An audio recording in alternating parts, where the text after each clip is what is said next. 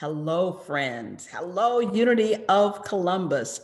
It is good to be with you this morning. What a wonderful opportunity for us to be together and to share some words of truth and have this wonderful experience on Palm Sunday. I want to take this opportunity to thank Darren Wells, as well as your entire board and your music and setup team for, first of all, inviting me, but then for making it possible that I could speak with you today and enjoy some time together on truth. So happy Palm Sunday. Now, if we were together in person, I tell you to turn to the right or to the left, and whoever's sitting there, just say to them, Happy Palm Sunday. So maybe there's nobody there, but let's just pretend. Turn to the left, turn to the right. Happy Palm Sunday. Just get that energy out there. We just have to keep putting the energy out there and enjoying it. But it is Palm Sunday, and I'm glad to be with you on this day. You know, Palm Sunday is that Sunday that launches what has become um, known as Holy Week. And actually, uh, the late Ernest Wilson, early New Thought minister, has a book titled The Week That Changed the World, which is all about Holy Week and launches on Palm Sunday. So, with the idea that this is beginning of the week that changed the world, it's Holy Week. Today, I want to talk to you about the week that can change your world. And as we do that, we certainly know and realize that the events that happen in this week that we call Holy Week, surely they are not only important, they must be. I mean, it's more than 2,000 years later. We're still talking about it. We're still learning from it. We're still growing from it. We're still trying to understand it. So it truly was and is a week that has lots for us to explore as we go through it leading up to Easter Sunday.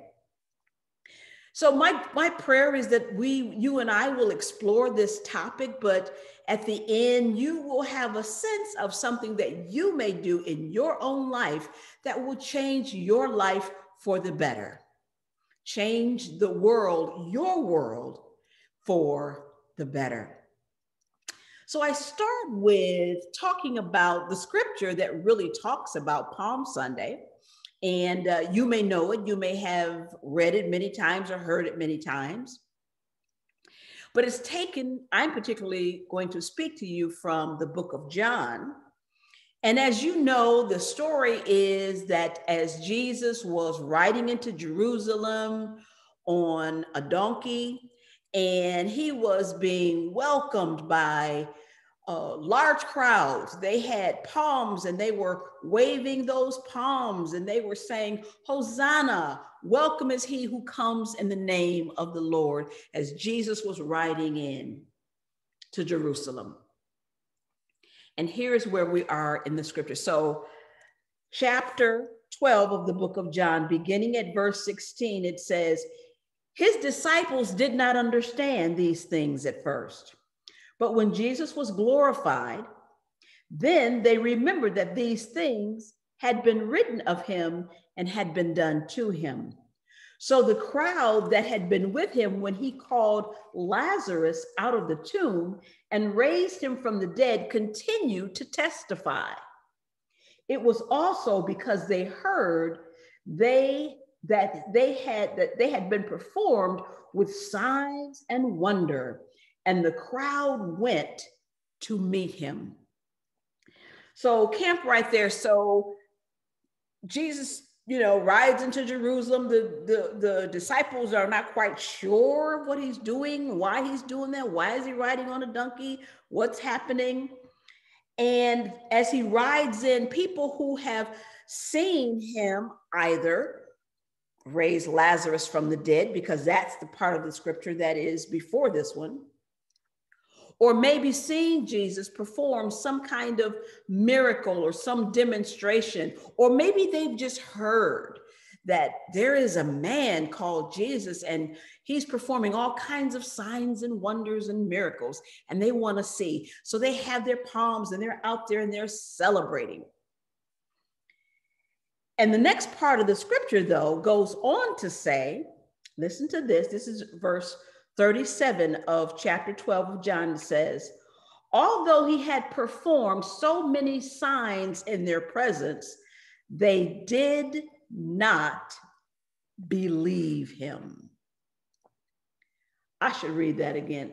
It says, although he had performed so many signs in their presence, they did not believe him. Wow. So just imagine here's the crowd. They're all excited. They're ginned up and they've heard the testimonies. They've they've heard the the or maybe even seen something that is being called a miracle. They've heard that he raised Lazarus from the dead. Can you imagine the excitement, the enthusiasm? And everybody's out there. Now, Jerusalem represents um, the place of inner peace.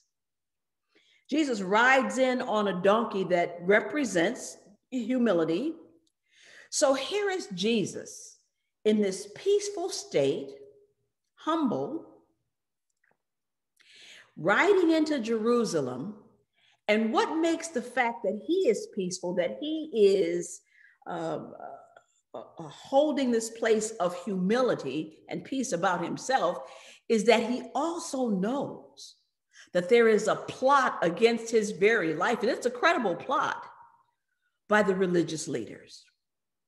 Can you imagine? He knows that that's happening. He knows there is a plot unfolding, but he's in this place of peace. He's in this place of being humble. He's in this place of being humble to the people as he ride into Jerusalem. But with all the excitement that is happening, Jesus is also aware of something else. And maybe you heard it when I read it in the scripture. Jesus is also aware of something else. The crowd is worshiping him as a celebrity. You know, think about the times we go to fancy concerts and we just want to get our eyes on whoever is coming down the red carpet and we're, you know, celebrating them and we want to see them and get a picture of them and all of that. So Jesus is very well aware that people are worshiping him as some kind of celebrity. They've seen the signs and the demonstrations and or heard about the miracles and they're excited about that. But they have no understanding of the inner work and revelation of truth that is and has taken place in him in order that he could do these miracles and signs and wonders. They have no idea of that. They're just focusing on, hey, miracles and signs, this is great. In fact, their belief extends only as far as the next miracle, the next demonstration, the next sign, the next wonder. And Jesus is very well aware of that. So, you know, I liken that to when someone has achieved something and then people celebrate the thing and not the person. You know, I'm reminded of the person that, um, you know, was passed over for promotion time and time again. And being passed over for promotion, he'd go to his boss and say, Well, you know, look, you know, last year I closed that big deal, made, you know, hundreds of, of, thousands of dollars for the company. I didn't take lunch for three months. I stayed late every day for, you know, eight weeks in a row, making sure the numbers would work. And y'all even gave me a little gift, and there was a cake in the conference room. And now it's time for the promotion. What happened? See, they were celebrating the accomplishment or the thing that the person had done, but not the person. So then that that whole thing was the celebration was only as good as the next new thing. Sometimes it happens for us in our life. We get a new house, we get a new car, you know, we demonstrate something that we've wanted to have, and we're all excited, we celebrate the thing. But that kind of celebration is only as strong as the next new thing we get to have. You know, Jesus was being celebrated for what he had done, but not for the consciousness that he had reached. The very consciousness that he demonstrated in order to do those demonstrations, to bring about miracles, in order to have phenomenal things happen in and through the works that came forth. The people had no idea who he was, and they had no idea how he was able to perform those miracles, those demonstrations, those signs. They had no idea. Quite frankly, even the disciples did not. The scripture just told us that. Even the disciples weren't sure you know what was going on but everybody was kind of caught up into you know this excitement of something to celebrate is happening and we're all having a good time and we're enjoying the thing. You know even those of us on our own spiritual journey may fall prey to you know sort of what i call following the blame you know the demonstrations in our lives. We you know get in a new relationship and you know for three or four months everything is going wonderful. We're very much in love. And then after that it goes away and we're like oh my god what happened? Or we get that job that we've been praying for for the longest time and we demonstrate that job. And then we get on that job and we find well maybe it's not exactly you know working out the way we thought it would. So we kind of go along with it, but then we get excited about the next new job we can get after that. So sometimes we just seem to, even on our spiritual journey, sometimes just following the next new thing that we could grab hold of, the next new workshop, the next new author, the next new book that came out, the next new program, if we could just do that thing without giving, giving the attention that it deserves to do the inner work to do the inner work that is ours to do, that is quite frankly always ongoing. You're never done until you're done. But even on this journey that we are on, we might well take an opportunity to say, are we just chasing the bling or whatever the next new thing is, or are we really doing the work? And Jesus was very conscious. These people, most of them were kind of, you know, out to just for the celebration and, and enjoying it and having a good time and saying, wow, look at all these wonderful miracles. And that's evidenced by the fact that by the time um, on that Friday when Jesus was crucified, the crowd was saying, you know, hey, go ahead and crucify him. And then it's like, wait, but when I rode in on Sunday on that donkey, you know, y'all were saying, Hosanna, Hosanna, and waving all the palms. Did y'all forget that? Yes, they did. But they were having a surface level experience they were having an experience that was based on the outer activity of the demonstration and no recognition to the work that happened within Jesus in order to do this work. How did it happen? Nothing.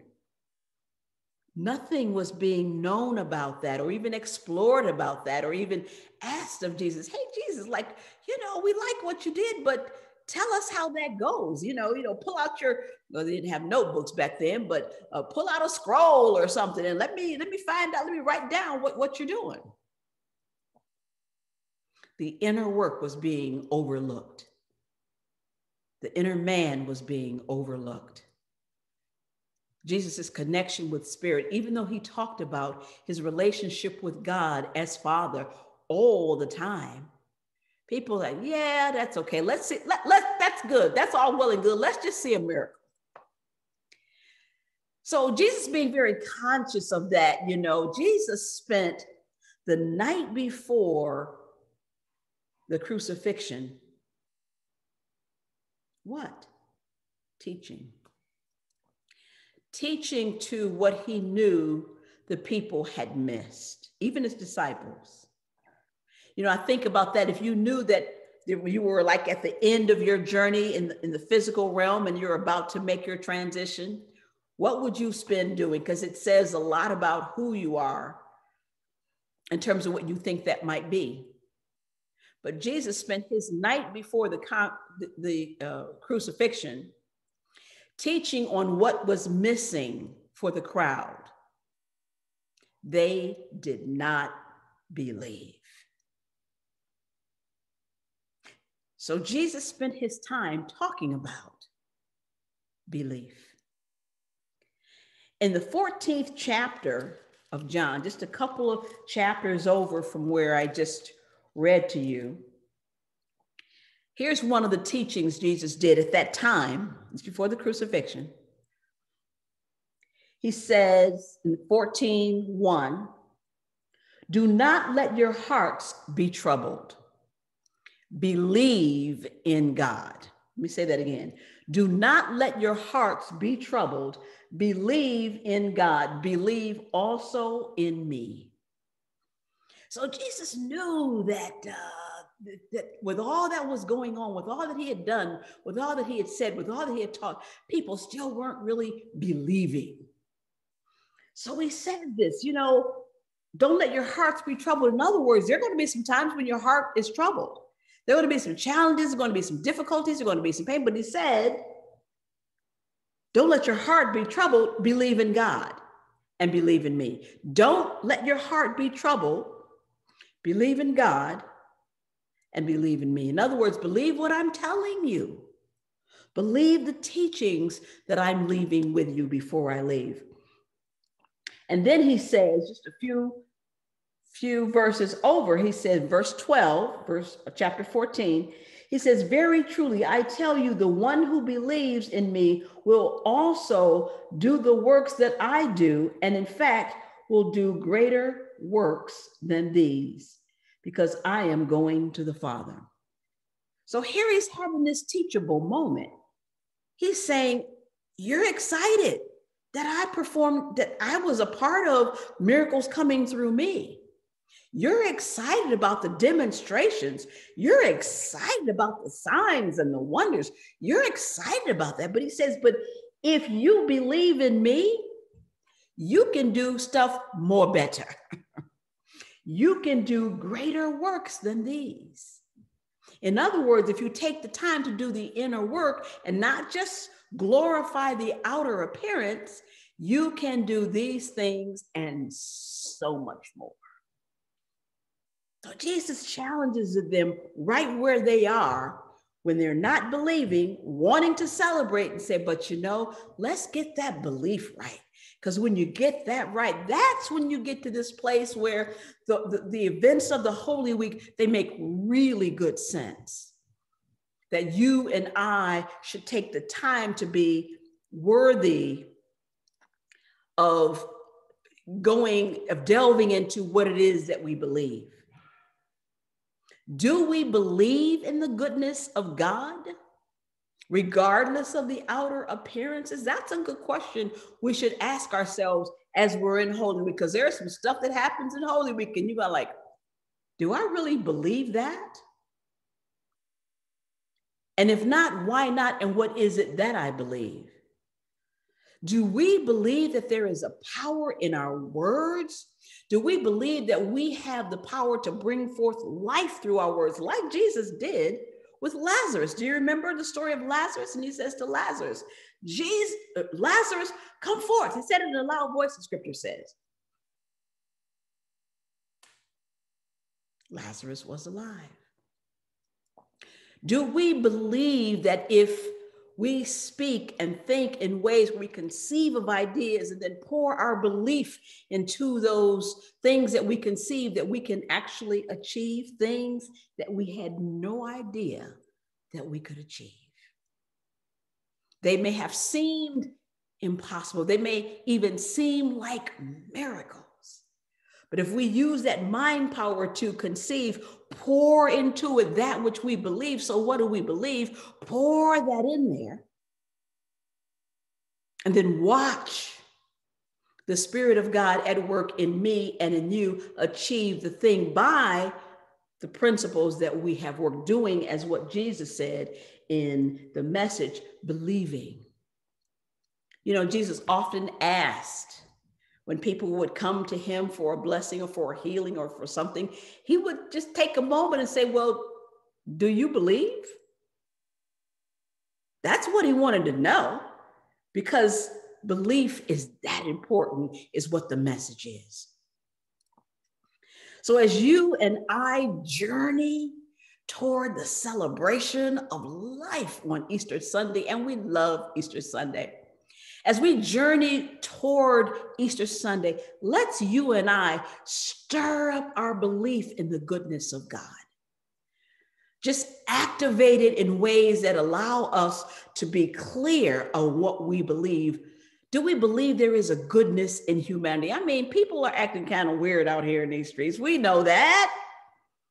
But do we believe, in spite of that, that there is goodness in humanity, that there is goodness that we can show and demonstrate to our neighbors, our friends, our family, kindness and compassion to others? Can we demonstrate that in our lives? Whether we're talking about, you know, no matter where they are in their life experience or what their political persuasion is, their sexual orientation, their race, their religious affiliation, is there a goodness in humanity that we can latch on to?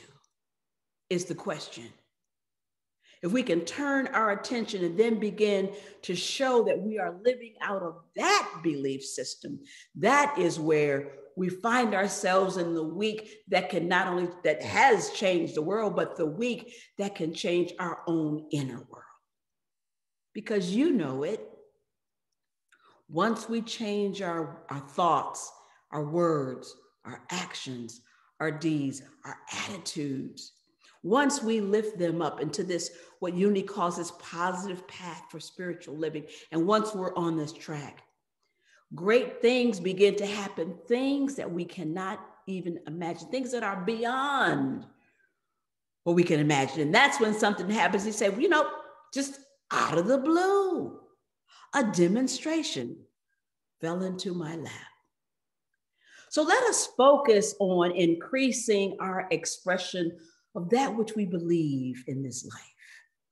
Oh, the challenges we have in our world today, they can, they can be they can be changed. They can be worked through. They can be solved. And you and I can be a big part of how they are solved by beginning to change our inner world. As Jesus says in the scripture, believe in me and also in the works that I do, knowing that you can do even greater things. Focus on increasing your expression of belief in your life. And let's watch this holy week unfold, seeing the lessons of belief in our own experience and outpictured beyond the outer bling, beyond the outer circumstances as we do a mighty inner work that prepares us for the glorious Easter Sunday that is headed our way. God bless you, dear friends, and thank you so much for having a happy Palm Sunday. God bless.